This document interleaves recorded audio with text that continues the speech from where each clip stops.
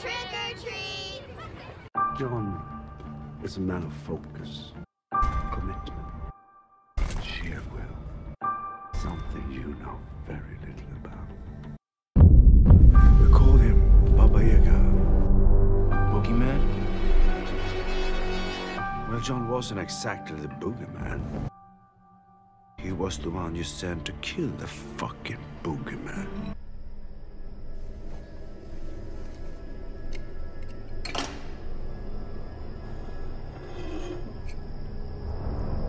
Tell me what you want.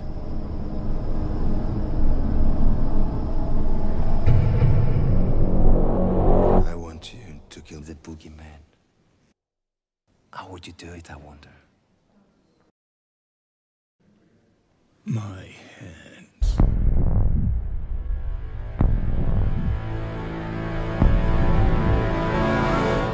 I have prayed every night that he would escape. What the hell did you do that for?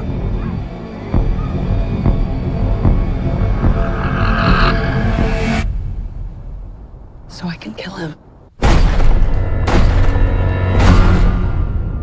The bus crashed. Michael Myers escaped. He'll return to Haddonfield, his home. I need to protect my family. We have to hunt him down.